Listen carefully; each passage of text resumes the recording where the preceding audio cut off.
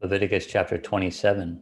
Now the Lord spoke to Moses, saying, Speak to the children of Israel, and say to them, When a man consecrates by a vow certain persons to the Lord, according to your valuation, if your valuation is of a male from 20 years old up to 60 years old, then your valuation shall be 50 shekels of silver, according to the shekel of the sanctuary.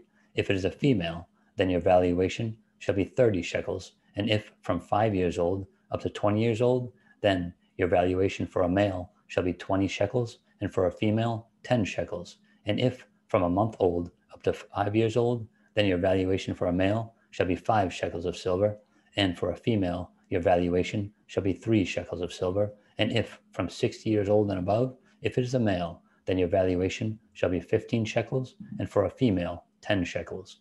But if he is too poor to pay your valuation, then he shall present himself before the priest and the priest shall set a value for him according to the ability of him who vowed, the priest shall value him.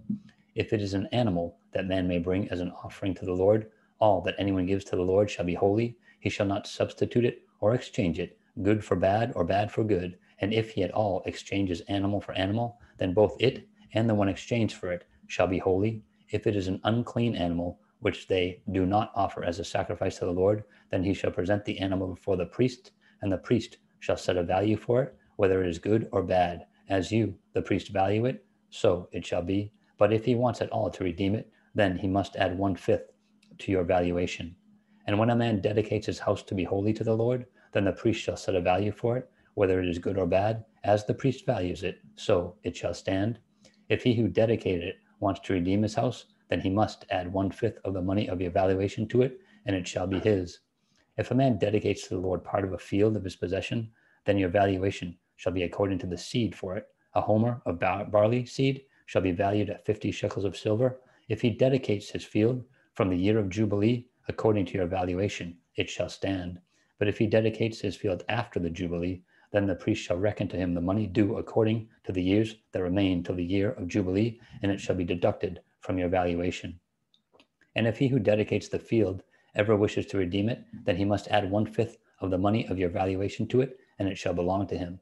But if he does not want to redeem the field, or if he has sold the field to another man, it shall not be redeemed any more. But the field, when it is released in the Jubilee, shall be holy to the Lord as a devoted field. It shall be the possession of the priest. And if a man dedicates to the Lord a field which he has bought, which is not the field of his possession, then the priest shall reckon to him the worth of your valuation up to the year of Jubilee, and he shall give your valuation on that day as a holy offering to the Lord. In the year of Jubilee, the field shall return to him who, from whom it was bought, and to the one who owned the land as a possession, and all your valuations shall be according to the shekel of the sanctuary, twenty gerahs to the shekel. But the firstborn of the animals, which should be the Lord's firstborn, no man shall dedicate, whether it is an ox or sheep, or it is the Lord's. And if it is an unclean animal, then he shall redeem it according to your valuation, and shall add one fifth to it, or if it is not redeemed, then it shall be sold according to your valuation. Nevertheless, no devoted offering that a man may devote to the Lord of all that he has, both man and beast, or the field of his possession, shall be sold or redeemed. Every devoted offering is most holy to the Lord. No person under the ban who may become doomed to destruction among men shall be redeemed, but shall surely be put to death. And all the tithe of the land, whether of the seed of the land or of the fruit of the tree, is the Lord's it is holy to the Lord. If a man wants at all to redeem any of his tithes, he shall add one fifth to it. And concerning the tithe of the herd or of the flock, or whatever pass under the rod, the tenth one shall be holy to the Lord. He shall not inquire whether it is good or bad, nor shall he exchange it.